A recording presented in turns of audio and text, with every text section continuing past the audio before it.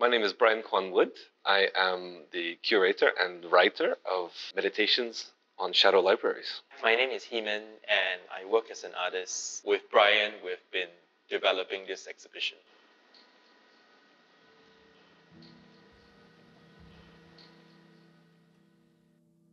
What importance uh, books have for your thinking behind this exhibition?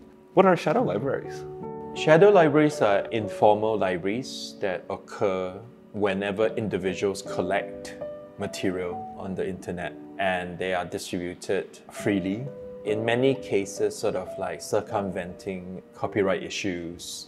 I chose to begin the exhibition by thinking about shadow libraries because at the heart of my practice is this idea of circulation and exchange. We're sitting inside of the library of unread books. I think an interesting example of something which is highly planned and hmm. also very chaotic and, and very uncontrolled. Could you talk a bit about how this project came about? The Library of Unread Books began in 2016 as a collaboration between me and the archivist Renee Staal. And we were very interested to imagine and construct a library that is full of chance and chaos. The topics of the books in the library is really only defined by people who have donated their books that they have bought but they haven't read. So it's a very simple way of transforming an object that is like that is private property into an object that is that exists in the commons. So we wanted it very much to be a real library and not just an artwork in a way that people could like read the books mm-hmm. and they could spend as much time as they want in the library.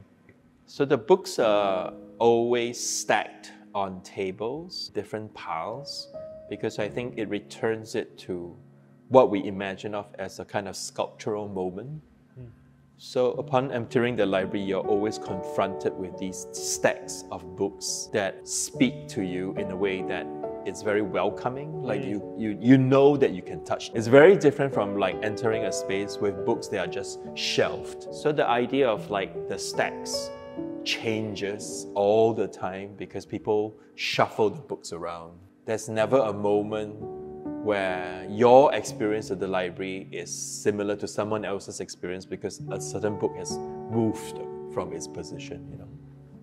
Quite related to the arrangement of physical book as a sculptural object, but as a mm. form, as a series of paintings that faces a library of mm. unread books called Labyrinths. Could you tell us a bit about Labyrinth?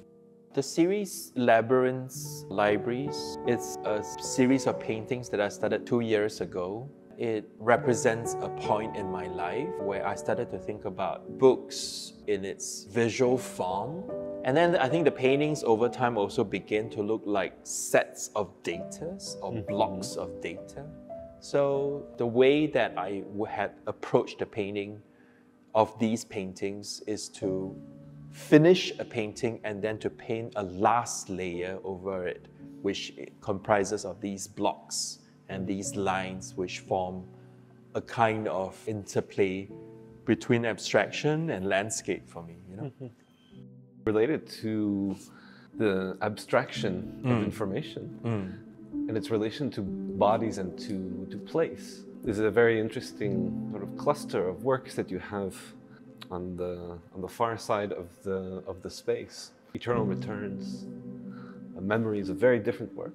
Yeah. Um, but then somehow uh, closely related to them. How these works also deal with the with mm. the body, with mm. memory, but mm. also with place and, and and in a way landscape, as you were mm. mentioning. I think around 2009, I realized that the short stories that I've been writing, mm. they're not very good. But at, at the same time, I wanted to continue writing short stories. Mm-hmm. I suppose it's also about finding a way to publish these short stories that would not have any kind of permanent effect on how people see me as a short story writer. Mm.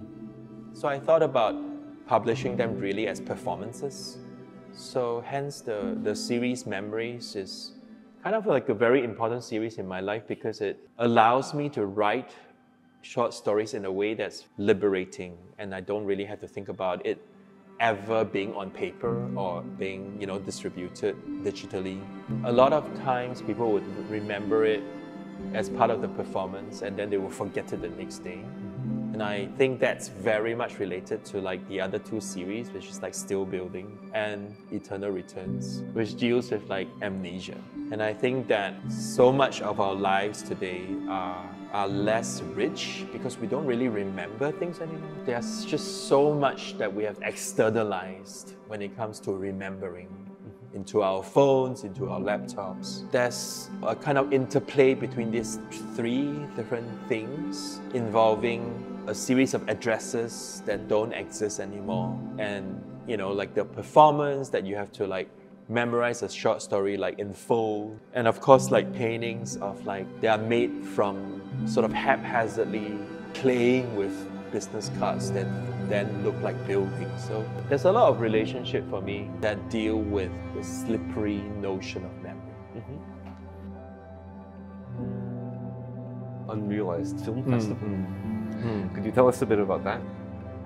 I've always wanted to make a film festival called Notes on Roads, Trips, and Other Flips and Files, which is a pirate cinema film festival that will occur in 365 homes in a given city. You know, every night of a, of a single year, there will be like an announcement for an undisclosed location and where people would gather to watch a film collectively. So again, this idea of a sort of a temporary community is always very important to me. Every time I try to make this project, it fails terribly. Either because of the police or like the institution getting cold feet. I kind of gave up the actual making of the project because it's, it's been like years and years since I've tried to make this project. And what I've done is to distill the projects into a series of film posters that sort of constitute a wall mural.